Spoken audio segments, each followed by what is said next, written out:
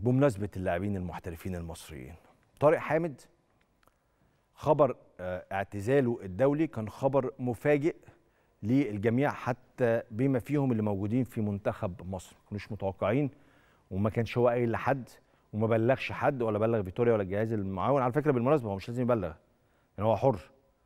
أي لاعب في العالم كده لما بيعتزل دولي مش بيبقى لازم يبلغ مش بتكلم على طريقه مش بقول برضه الحر ده إسقاط.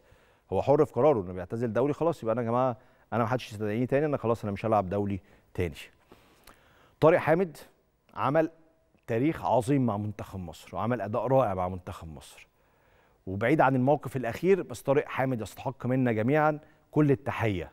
الراجل ما بخلش بنقطة عرق واحدة ولا جهد مع منتخب مصر طوال فترة طويلة جدا اشترك فيها مع منتخبنا في كثير من المباريات والبطولات. أنا ما بحبش دايما المشهد الأخير هو اللي يخلينا ننسى كل حاجة عظيمة اتعملت.